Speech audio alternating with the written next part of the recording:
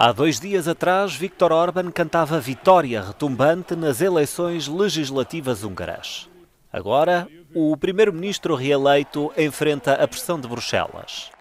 A presidente da Comissão Europeia confirmou que se vai desencadear o chamado mecanismo de defesa do Estado de Direito, mais turbulência na canalização dos fundos europeus destinados ao país. Enviámos uma carta à Hungria com perguntas. Eles responderam e avaliamos cuidadosamente o resultado. A nossa conclusão é que temos de passar para a próxima etapa.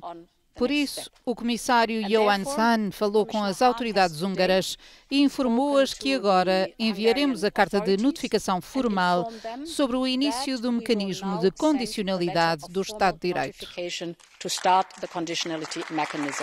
Entre palmas e assobios, Budapeste e Bruxelas mantêm há anos um braço de ferro por causa da erosão de padrões democráticos na Hungria. O mecanismo permite congelar verbas, como a bazuca pós-pandemia, destinadas a países que violam os valores base do Bloco Europeu, incluindo casos de corrupção e de falta de independência do Poder Judicial. Para alguns eurodeputados, a resposta do Executivo Comunitário peca por tardia. Uma das razões pelas quais Viktor Orban é tão forte deve-se ao facto de, em Bruxelas, não se terem aprendido lições no passado e de se ter apoiado o primeiro-ministro húngaro.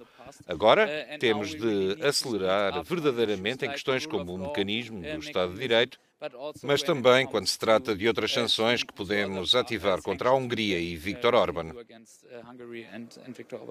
A Polónia também é acusada de violar valores europeus, mas a Comissão Europeia ainda não iniciou um processo formal.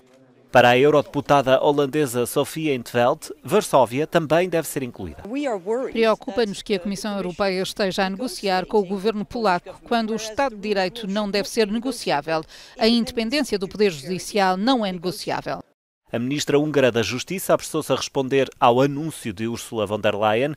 Disse que é tempo da Comissão Europeia aceitar a decisão dos eleitores húngaros em vez de os castigar, só porque a maioria não votou no sentido desejado por Bruxelas.